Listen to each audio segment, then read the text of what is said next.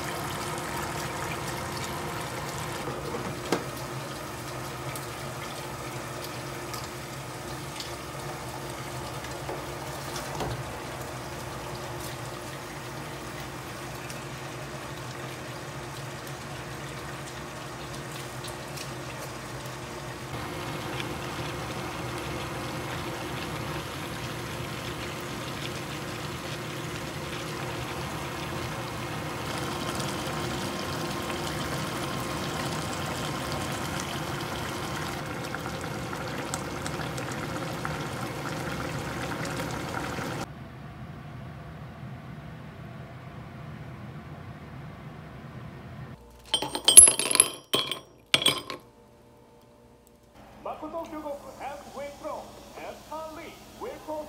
상대가 있다면서 어. 하지만 난 너. 피를 흘리면서 천천히 쇼핑몰까지 걸어갔어 딱 폭발했고 그 영향으로 호텔 전체가 정전이 됐지 그래서 정답이요? 이것도 어떻게 알았냐? 아까 네가 이거 샀잖아 보고 있었구만. 그 주먹을 펴기 전에 안에 뭐가 있는지 맞히는 사람이 탐정이잖아? 그만. 그럼 그 사고도 레온이 그랬다는 거지? 예상대로 마코토 형은 대회를 기권했어 그럼 널 잡았다고? 오늘 새벽에 레온이 만난 남자야. 이 녀석이 누군지 알 수 있겠어? 아, 자, 아, 잠깐만, 잠깐만 기다리게. 자, 그 예고장을 발견한 건 가면 이거 사줘 저거 사줘 이거 사자 하는데